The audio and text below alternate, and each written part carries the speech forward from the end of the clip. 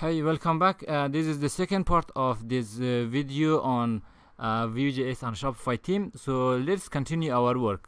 In the previous video, we did uh, import our Vue.js here. Let's see how we can add it to our theme here. So if I come to my theme, currently I have a Vue extension here. So this is the Vue extension you have to install. You can go to Chrome uh, extensions and search for the Vue dev tool and you can install it. This dev tool is very helpful when you are developing a, a, a theme for Shopify because it is going to show you all the data structure you have. Also, it will detect any website who are using Vue.js. For example, if I come to the Vue.js, they are not using the Vue.js itself. They are using some other tools. If I come to the Laracast, they are using Vue.js and it detected and this is it has been disabled by the uh, author and you cannot access any data you have here. So those are the things currently our team does not have Vue.js that's why it did not detect it even if I refresh it. Do we have added this file to our uh, team? But it didn't de- detect it. It is because we have not included this in our team. If I come back here we do not have it here. Let's include it in our team. If I open the layout uh, liquid you can come to the theme dot liquid. This is the master template and this is how they include the temp the script tags here. But at the end of this footer here I will come and add my script that I have here.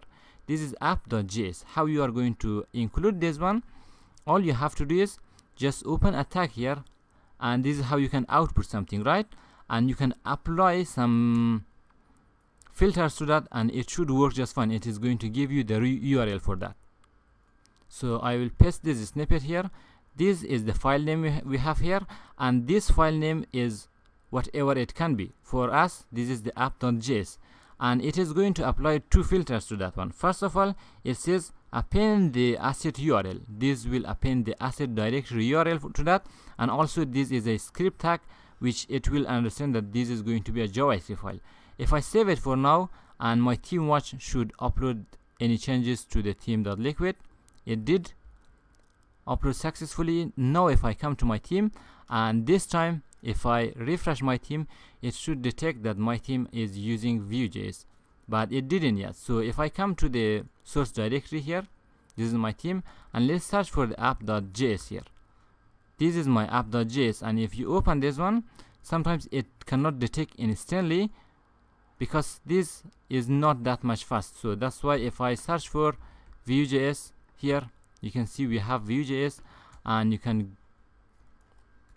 search for only Vue or any function that that has the view extension here. It should work just fine. But for now you can know like you have access to Vue and everything is fine.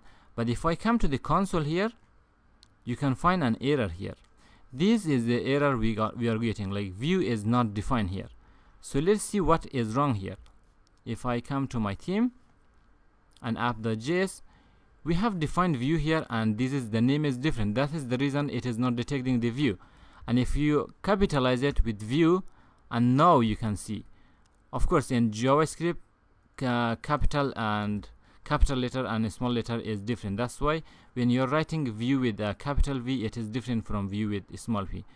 V so if i save it for now it did compile successfully and it did upload them successfully too. If i refresh this time this time it should detect the Vue and we are getting another error. Element test is not defined. That is true. In our team we said go and search for the test id but it does not exist. I will check it change it to app and in my theme.liquid uh, i will come here. This is the main. It has a rule and it has the id of main content. How about i make it to the app? Let's say call it app not main content. If i change it to app now our team has an id of app and this is unique and Vue should not have any excuse to give us an error. If I refresh this time, everything works fine. The detector also detected that we are using Vue.js, except we are getting some error. These are common error that happens if you are using Vue.js as a global uh, selector here. When you say app here, anything that come inside it will be uh, part of Vue.js. That's why this is not the recommended version. As I said in the uh, starting of the previous video, I will show you the unrecommended way and I will show you the rec recommended version also. when you're writing app here in the top we are selecting anything which is inside this one and Vue is a little sensitive about writing styles as you can see this is the style if you are writing styles in your javascript because it assume everything inside this one is pure html there is no javascript. And even if you are writing any uh, let's say directories that are hard coded here or just relative paths is going to give you an error for that. And the solution for that is not to select everything at the top and uh, top level. What we can do is we can have multiple instances of Vue here. And for any sections that we are using Vue we, we detect only that section. For example if we are using Vue in our header just call it header and give an ID of header. And inside the header you are not going to write any JavaScript file and you are not going to write any CSS file. Of course all your CSS will be in the Sass directory. And if you have a section called mini cart, and you will create a not header a mini cart instance for that this is the ideal way of how we are going to do. For example you have a page called login and we have an instance called login. Login here. This is how we are going to create our file. Of course we are not going to write everything in the app.js but that is just to make sure everything is going to work fine. If you do it this way this will not uh, show you some error because currently in our page if you check the source code here inside the our file here we have a lot of SVGs here. These are all making those errors to happen. That's why you can see they have CSS inside the SVG that's the error that's happening.